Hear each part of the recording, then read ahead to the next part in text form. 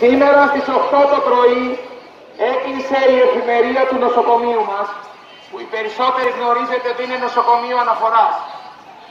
38 επιβεβαιωμένοι ασθενείς, από τους οποίους 8 διασωληνωμένοι στη μοναδική μονάδα του κέντρου εκαυμάτων, που δεν δέχεται πλέον εκαύματα σε μια βιομηχανική περιοχή, αλλά έχει δεσμευτεί για τη θεραπεία ε, του κορονοϊού.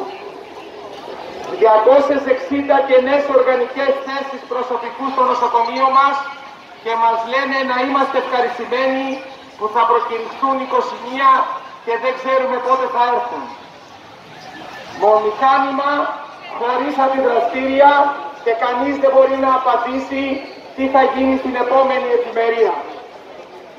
Η αλήθεια όμως συναδέλφισες και συνάδελφοι ότι όλα αυτά που αντιμετωπίζουμε και ο καθένας από εσάς θα μπορούσε να πει περισσότερα παραδείγματα για το πόσο θωρακισμένο είναι το σύστημα υγείας, υπάρχει ένας κίνδυνος να αδικήσουμε την κυβέρνηση.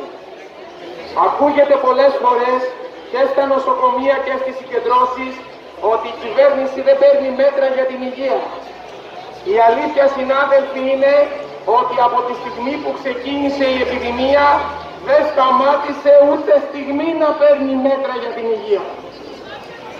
Ούτε στιγμή δεν σταμάτησε να ψηφίζει και να εφαρμόζει νόμους όχι μόνο για την αύξηση της κερδοφορίας των ιδιωτικών μονάδων υγείας, αλλά και πώς θα προχωρήσει πιο γρήγορα το νομοθετικό πλαίσιο που ήταν έτοιμο οι προηγούμενες κυβερνήσεις για να λειτουργούν τα ίδια τα δημόσια νοσοκομεία ως αποτελείς επιχειρηματικές μονάδες.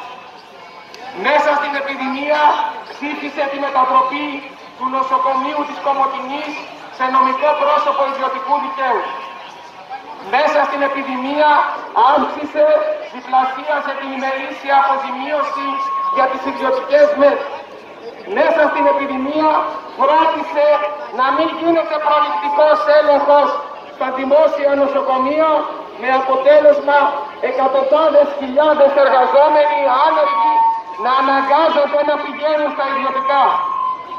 Μέσα στην επιδημία για την περίφημη ανάκαμψη της οικονομίας και κλείνω με αυτό κατέθεσε σχέδιο για την ανάκαμψη της οικονομίας που λέει ότι η επιδημία είναι ευκαιρία για να αναπτυχθεί ο ιδιωτικός επιχειρηματικός τομέας ότι η κυβέρνηση έχει ευθύνη να μετατρέψει την κρίση σε ευκαιρία για να αυξηθούν τα κέρδη των επιχειρηματιών.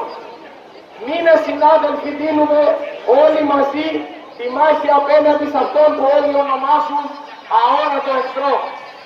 Καλούμε όλους τους συναδέλφους από εδώ και πέρα να δυναμώσουμε τη μάχη ενάντια και στο πραγματικό εχθρό ενάντια σε αυτόν που μετατρέπει την επιδημία σε μεγαλύτερη απειλή για τους φτωχούς, τους άνεργους, τους βιοπαλαιστές, αυτούς που δεν έχουν τη δυνατότητα να κλείνουν σουίτες στα ιδιωτικά για να κάνουν έλεγχο.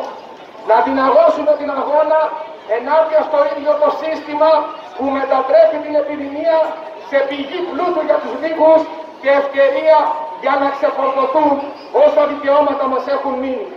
Καλούμε όλα τα σωματεία μέχρι τις 15 του Οκτώβρη που είναι η επόμενη μεγάλη πανηγειονομική κινητοποίηση να μην τους αφήσουμε σε χλωρό χωρί σε κάθε χώρο δουλειάς, σε κάθε κέντρο υγείας, νοσοκομείο, προνοιακό ίδρυμα, με συσκέψεις, συγκεντρώσεις, να οργανώσουμε τον αγώνα. Όχι μόνο για να σώσουμε την υγεία του λαού και τα δικαιώματά μας, αλλά για να κερδίσουμε ένα μέλλον όπου η επιδημία θα αντιμετωπίσετε εισόδημα για όλους και δεν θα είναι πηγή πλούτου για τους λίγους.